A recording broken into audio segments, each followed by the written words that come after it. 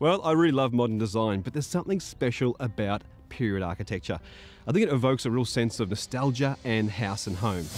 Well, today on the show, we're going to see the construction of a traditional Queenslander, but with a twist. The builder is going to use modern materials. Let's see if he can pull it off and still lose none of the old world charm. We meet second generation builder Simon Griggs as he attempts to execute a classic Queenslander style house.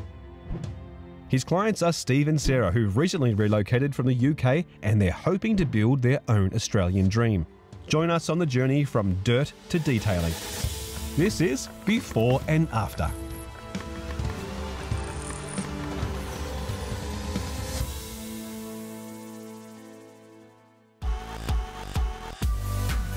Townsville is often referred to as the unofficial capital of North Queensland. Established for its access to the sea, first for industry, then for military, and now also for tourism, as a gateway to the Great Barrier Reef. And with over 300 sunny days a year, it's easy to see why people love living here. Steve and Sarah made the move in 2011 from the UK. A job opportunity for Sarah made the prospect extremely sunny and too hard to pass up. Steve took on the role of stay at home dad for their twin boys, aged 10, and it was up to him to find the perfect site for their dream home. I rode around on my mountain bike looking at various plots and came across this one up on the hillside and they wanted a quick closure on it and we were available and were Just able to. right in a position to go for it. So Yeah. we were so fortunate to be able to find it and snap it up quickly. We closed in a week and it That was, was ours. it. We've got 1400 square metres of mountain really and, I mean, and dirt and rocks. there's a flatter bit at the front, so this is the very steep bit. This is going to be the challenge with the garden, but we're hoping to put the house down towards the front of the block Looking at uh, Garth Chapman as a designer. as a designer and um, building with Tribute Homes, who, who are their local builder here.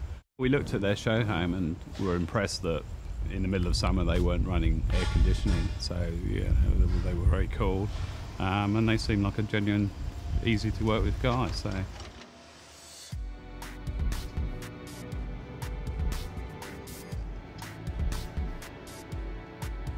I started in the building industry um, from when I was about the age of eight or nine. My father was a uh, builder from uh, when he left school, and that me being the only son in his family, um, I kind of like dragged on to the building sites from a young age, way before workplace health safety come in. And as a result of that, I just kind of got that passion for the building. I uh, joined the army, did 20 years in the army, and through no choice of my own, you just got, always got that drive in you. I think it's in your blood. Once you're born with it, you're born with it. And uh, I got back into the building industry.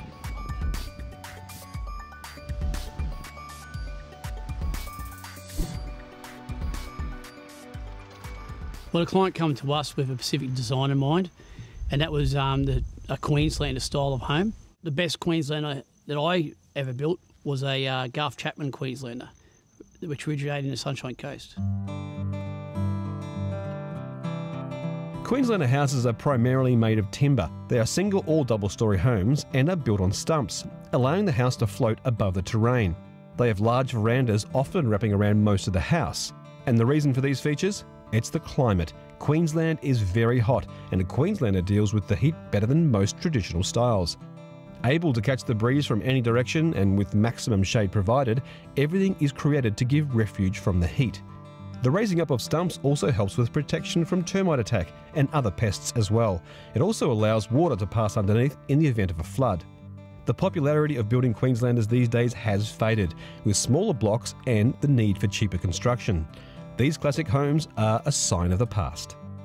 But this traditional feel is exactly what Steve and Sarah are looking for, and with Townsville's hot weather, it makes perfect sense. A traditional timber house with lots of openings, doors and windows to make the use of the prevailing breeze really and you know hopefully we're not going to be needing to use our air conditioning all the time because we've got this wonderful breeze up here and we want to make the most of it. So- we like the fretwork, the, the sort of traditional pretty designs that you see on the older houses. So on the end, outside it'll be traditional, it'll be detailed, very detailed. Um, and on the inside, more more sort of plain and, and, and, and modern. I just want to make the most of the view, so we need to design the living upstairs, I think, and hopefully have a nice big rotunda or a deck or somewhere to sit out and have breakfast on a Saturday morning. And I, I mean, maybe think about the living space at the front so that we can make the most of the views. Well, when we come to the site, the client wanted it on the the level section of the block. Um, the block, you could say, is in two parts. The front part is all level, and the back part has got a, a slope of around about a bit over 22 degrees. The client wanted us to um, bring the house forward slightly so they could keep it on the level, and uh, we excavated slightly into the cut behind us or the slope behind us. That um, hence created a retainer wall, which we designed uh, out of link blocks. It's to me, I'm not the sort of person that um, is is satisfied with um, a level block. Uh, with just doing a simple masonry block home, I like something that's going to create a challenge, and, and if you're never challenged in life, you're never going to learn and get more experience. Um, so I always like to do difficult jobs where I, it always takes me out of my comfort zone and it can and push me, and I can learn more and more. After the break, we find out how Simon is approaching this classic build with modern materials. And later, we reveal the finished house in all its glory.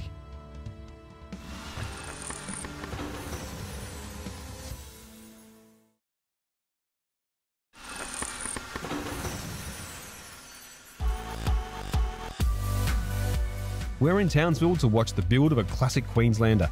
Steve and Sarah have found an amazing site high up on the hill to capture the coastal views. We catch up with builder Simon from Tribute Homes to see how things are taking shape.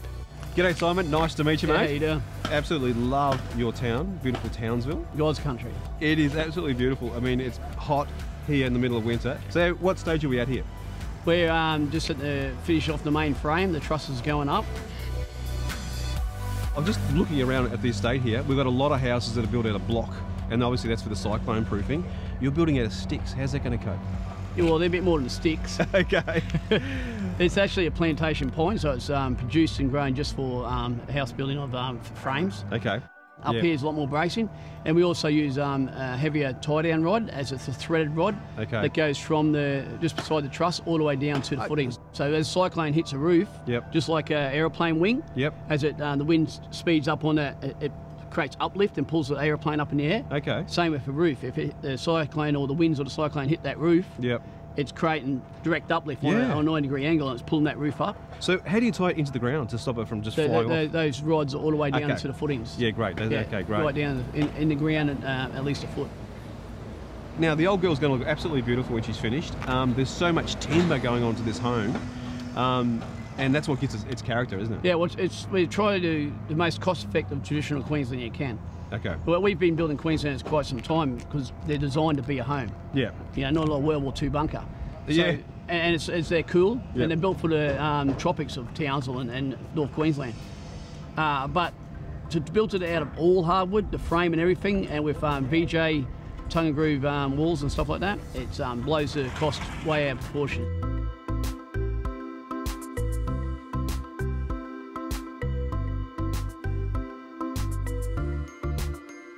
This, this product is our Prime Line Heritage, which is a reinforced fibre cement board. The thing we've overcome with our fibre cement products is the, the fact that you don't have to maintain them like you did with the old timber weatherboard products of, of yesteryear that we used on, on Queenslanders in times gone by. The Heritage is a, is a product that's emulating you know weatherboards that we used in the past with Queenslanders. Um, we do have a new range of, of products too that, that do give that deliver that modern look, and they're under our Scyon range of products. What gives me the most satisfaction, I think building is a creative process and just seeing things come to life. I mean, it's creative from the architect and designer, and I think the builders and the people that work from James Hardie get excited about seeing houses come to life, especially if they're innovative, especially if they're a bit different. Simon was saying that the relationship with Tribute Homes goes back a long way. Hmm. His father worked with James Hardie many, many years ago, so I think this is the second generation of the relationship. It's great working with Simon because he's, he's passionate about what he does and enables us to be creative in what we do and, and try and assist him to grow his business. It's now July. The main frame's completed. The veranda frame's finished. The roof's going on. Once the cladding's completed, you start to see the little um, finishes um, and this minor detail that really makes it look like a true traditional Queenslander. What I always like to see as the house has been developed is one big milestone is the deck actually goes down. We use a, um, a Jarrah sealed uh, shot edge decking. It's called shot edge because it's got the sharp edges from the mill. They've been uh, dressed and uh, pencil round on them. So when you see that jarrah go down, you can actually see a, the Queensland developing that typical veranda. And, and at the start, it looks like a, a ballroom finish uh, without the polish.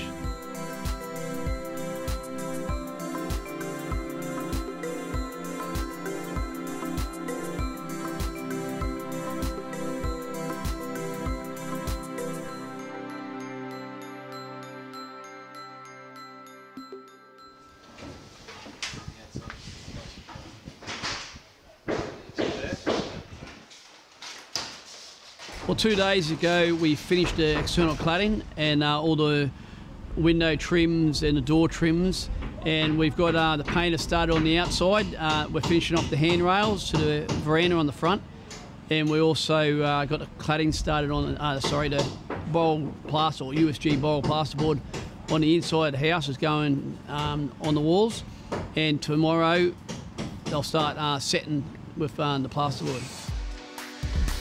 Simon and I have been probably working for about five, five to six years. I supply uh, all of Simon's homes. Very distinctive builder. As, as I said, there aren't too many guys in towns that'll build anything like Simon does. Most of it's your rendered block, and he's purely timber framed homes. Benefits of using plasterboard, it's, it's, a, it's an economical way to, to line your walls. You probably find 85 to 90% of walls in most homes are lined with plasterboard.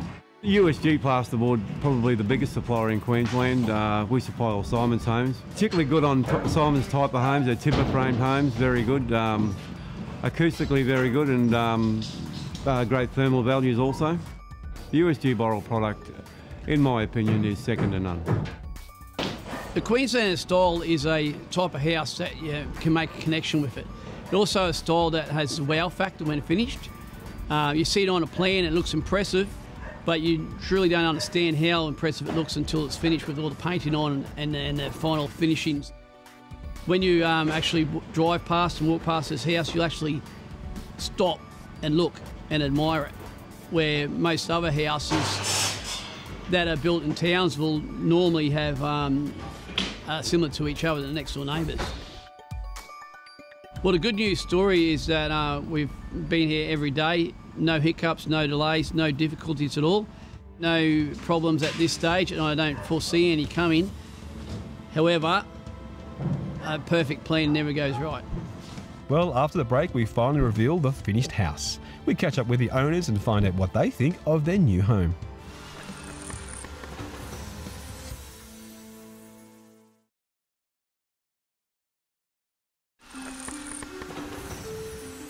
Well, the day is finally here. It's now late October, and Steve and Sarah have been in the house for three weeks. The old girl's looking pretty amazing.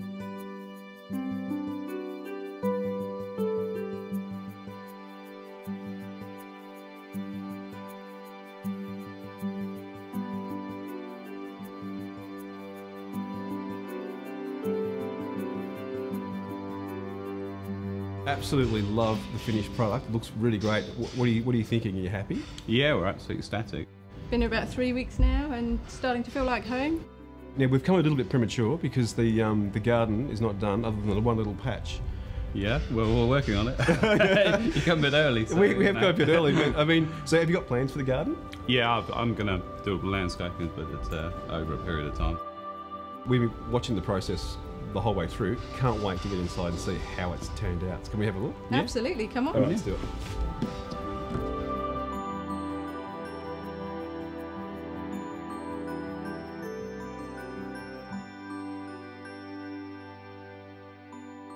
What drew you to the Queenslander idea in the first place? Well, I thought if we were going to live in this hot environment, and It's it does very get hot very here. hot here in, in the summer, we just wanted to live in what was, um, you know, people have been living in for 100 years, which was, you know, Queenslanders. So oh, Yeah. why, why go against that and try and build?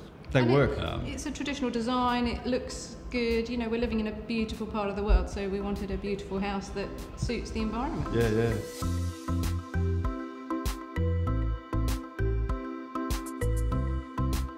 So this room's really cool. It's always cool because we've got the veranda that keeps it shaded, and then the breezes we can have all the doors and windows open, and it's stunning. Steve and Sarah chose your um, vinyl planking. It's glued to their floor.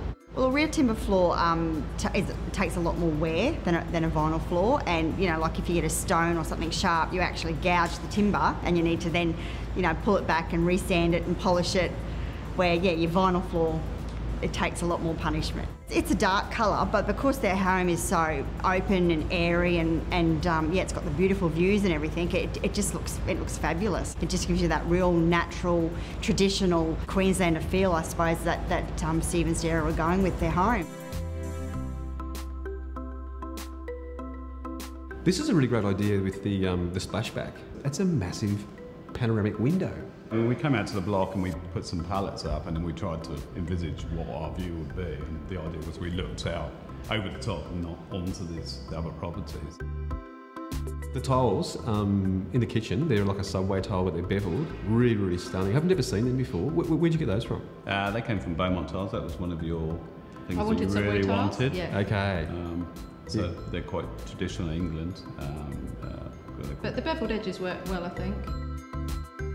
Steve and Sarah came in. I used scan and play to show them how it would look in the room after we finished doing the job.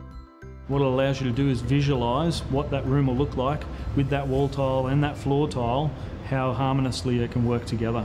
In a kitchen splashback, it can give you that ability to foresee what something will look like before you go and put it in, which makes happier experience for the customer.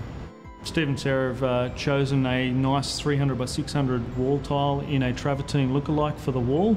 And then on the floor, they're using a really nice uh, lava chocolate. In the kitchen, they've used a beautiful modern beveled edge white subway tile with a nice white grout that keeps it nice and clean and modern. With using scan and play, take out a lot of guesswork. We can also print it out so that they can take it with them and they can have a visualisation and they can really show it to their tiler as well so that the, he knows what they're trying to achieve. Now, there's a, the interesting um, colours going on with the, um, with the windows in the bathrooms. It was my nod to the, to the traditional uh, uh, Queenslanders where they have coloured glass in the Yeah. windows. Okay, well, the rotunda, can we come and have a look at that? Yeah. Absolutely, let's let's, do go. After the break, we continue our tour of this beautiful Queenslander and we take a walk out onto the rotunda and see those endless views.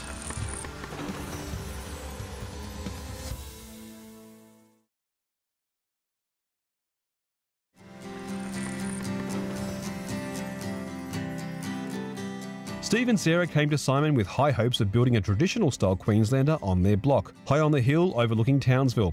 It was the character of a classic old home they were looking for, also the benefits of dealing with a hot climate in North Queensland. Simon took on the challenge, and what he delivered is a home with quality and character.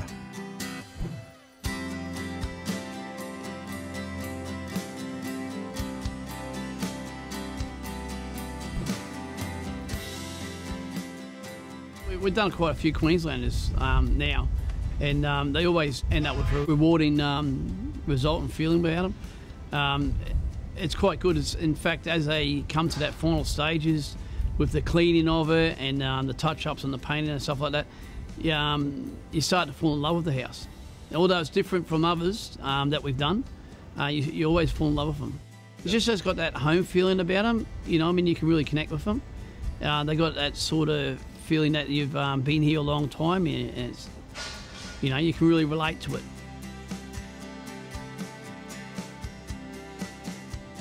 All in all, it's uh, an amazing job, amazing house. It's, it really is a home. It's a, it's a home, isn't it? Yeah, exactly. That's what we wanted. Yeah. So, what would you say is your favourite part of the home? Um, this area, I think this is, this works really well. This veranda and uh, the kitchen area, and this obviously this view here.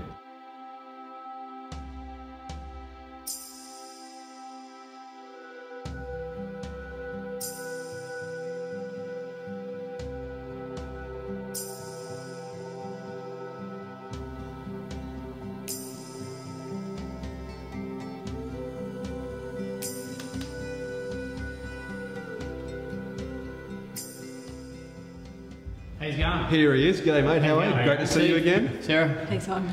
So, uh, you're back again. Um, what do you think? Are you, are you happy with your work? Oh yeah, very happy. Um, it always, at the end result, puts a smile on everyone's face and it's really rewarding. Well, mate, you've come at just the right time. I'm just about to ask the hard question. about price. So, what was the price, and did it come in on budget? Yeah, we're, we're, we're around about where we thought we'd be. It's about uh, 7.30 at the moment where we've come in. at. Okay. So, That's great. We had to put in a, a, a bit for the retaining wall and, and bits like that, and obviously we've, we've added extras as we've gone, so that always puts the price up. But it's Yeah. it's been really good. Well, it's great to come back and see it and see it to finally finish. So, thanks, mate, for um, allowing easy. us to go on the That's journey. good. It's a pleasure. And thanks so, so Yeah, much, thank Steve. you. Thank you, Sarah. Nice really meet you. appreciate it. Thanks. Thanks, eh? and thank you, Simon. Thank you. Thanks, Cheers. Simon. Fantastic. Well, I love this house. I love how the Queenslander design has evolved and been adapted to suit this climate. I also love how Simon has been able to execute this classic design with modern advancements using new materials and improved techniques. And for me, it's the beautiful little details that give it that distinctive character of a true Queenslander home.